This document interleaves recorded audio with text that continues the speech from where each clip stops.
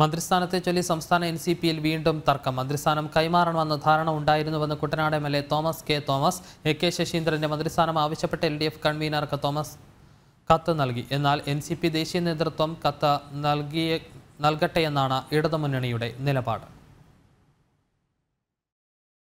രണ്ട് M L എമാരുള്ള N C പിയിൽ എ കെ ശശീന്ദ്രനാണ് നിലവിലുള്ള മന്ത്രി. രണ്ടര വർഷം കഴിയുമ്പോൾ മന്ത്രിസ്ഥാനം തനിക്ക് നൽകാമെന്ന ധാരണ ഉണ്ടായിരുന്നുവെന്ന് Kuttanad M L A Thomas K Thomas പറഞ്ഞു തുടങ്ങിയിട്ട് നാളുകൾ കുറയായി. പ്രഫുൽ പട്ടേലാണ് നമ്മളോട് എന്ന് പറയുന്നത്. അപ്പോൾ ഞാനും എ കെ ശശീന്ദ്രനോട് ക്ഷയിക്കാൻ കൊടുത്തു. ഓക്കെ തോമസ് അത് നിങ്ങളുടെ തീരുമാനം അത് എഗ്രി ചെയ്തിരിക്കുന്നു ക്ഷയിക്കാൻ കൊടുത്തു. അവിടെ വെച്ച് പിരിഞ്ഞു. പീതാംബരമോഷണത്തിന് സാക്ഷിയാണ്.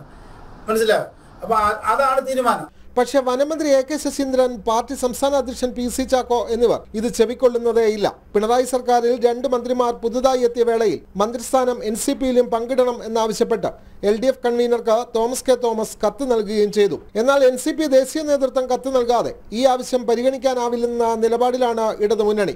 ശരത് പവാർ നയിക്കുന്ന എൻ സി പിയുടെ ഭാഗമാണ് കേരളത്തിലെ മന്ത്രി അടക്കമുള്ള രണ്ട് എം എൽ എമാരും. മുൻ ധാരണ പ്രകാരം മന്ത്രിസ്ഥാനം നൽകാൻ പി സി ചാക്കോ തടസ്സം നിൽക്കുന്നുവെന്നാണ് തോമസ് കെ തോമസിന്റെ പരാതി. ഈ സാഹചര്യത്തിൽ എൻ ഡി എക്കൊപ്പം നിൽക്കുന്ന എൻ സി പി ദേശീയ നേതൃത്വം തോമസ് കെ തോമസുമായി ചർച്ചകൾ ആരംഭിച്ചിട്ടുണ്ട്. ജനം തിരുവനന്തപുരം.